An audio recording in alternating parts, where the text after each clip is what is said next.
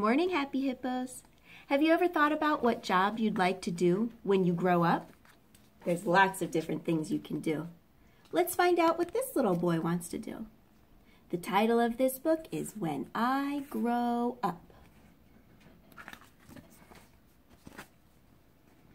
I waited so long for the hours to pass, but soon it was noon there in Mrs. Krupp's class. And Thursday at noon, as I'm sure you know well, is the time of the week when we do show and tell. And this week, the subject, so special to me, was When I grow up, what am I going to be? That's something I'd really been thinking about, and I just couldn't wait to let all those thoughts out.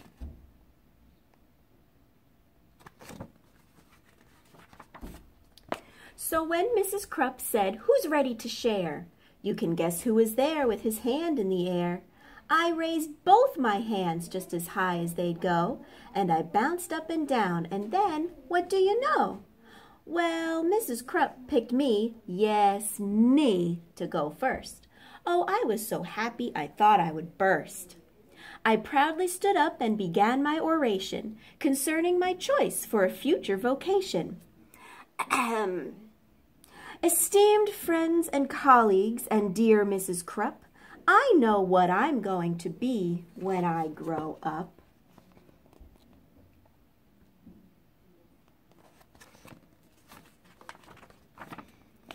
Why, I'll be the greatest chef you've ever seen. The world will go crazy for my haute cuisine.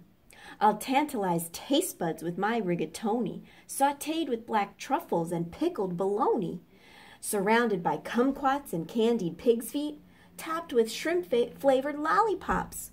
Bon appetit! My walls will be filled with awards that I've gotten for toast on a stick and my Twinkies au gratin.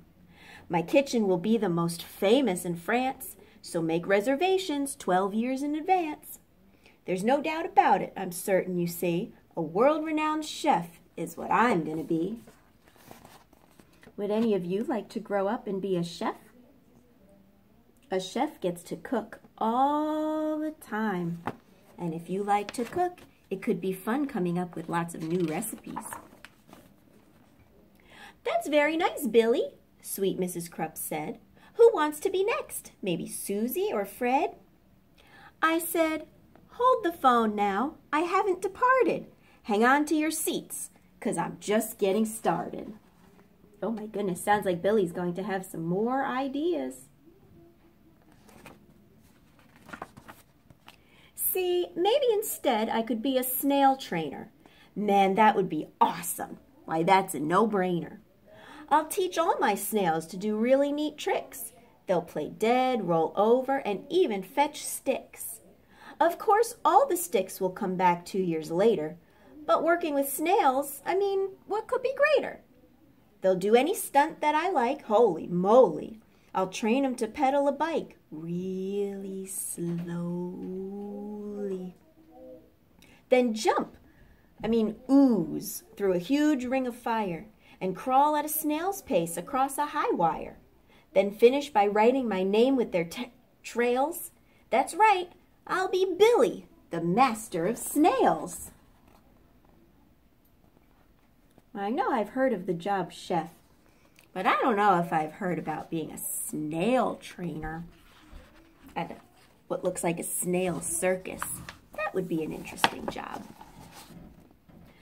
Or else maybe I'll be the lathe operator who makes the hydraulic torque wrench calibrator, which fine-tunes the wrench that's specifically made to retighten the nuts on the lateral blade that's directly beneath the main radial sockets inside cooling systems on X-14 rockets.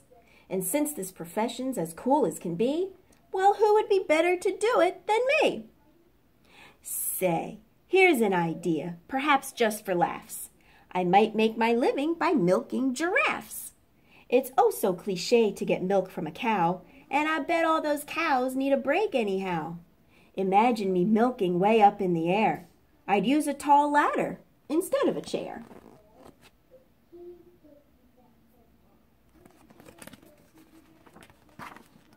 What? Milking giraffes? Mrs. Krupp said. Oh, please. I countered. How else could we make giraffe cheese? Now don't interrupt me, I'm not really through yet. There's still lots of stuff that I'm planning to do yet. Because maybe I'll be a gorilla masseuse.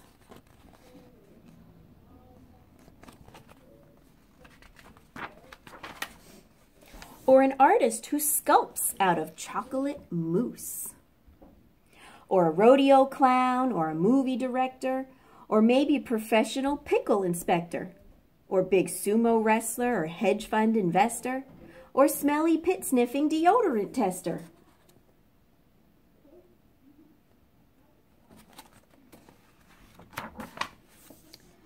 Or I'll be an expert on nuclear fission, or else a foot model, or friendly mortician, or waiter, or skater, or master debater, or dinosaur dusting museum curator, or TV repairman, or sidewalk sign waver, or part-time assistant tarantula shaver. And that's about when Mrs. Krupp said, Now, Billy, please make up your mind. This is getting quite silly. Which one of those things are you going to choose? I shuffle around and I look at my shoes. Billy has so many ideas, he's going to have a tough time making a choice about what he wants to do. He has so many interests. And finally, I said, my great-grandfather Bob's been a whole lot of things, had a whole bunch of jobs. A butcher, a barber, a bellman, a bouncer, a telephone psychic, and bingo announcer. You know what? He's just turned a 103, and he's still not quite sure what he wants to be. See, I'm only eight now, so frankly, I'm hoping you'll cut me some slack if I leave options open. Let's just wait and find out what my future brings. Hey, I might have time to do all of those things. Billy's right. You don't always have to pick just one job. You could do one job and then try out something else. And then the bell rang and we all went to lunch. And as I was sipping my pineapple punch, I pondered professions that I'd like to enter, like brave firefighter or crazy inventor.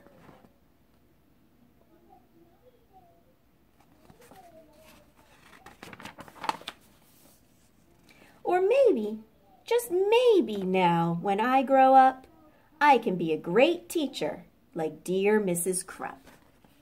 Look, he made her a card. It says, Teacher Billy for Mrs. Krupp.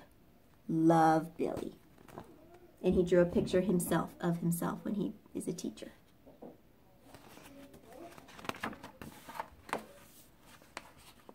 That is the end. See you later, hippos.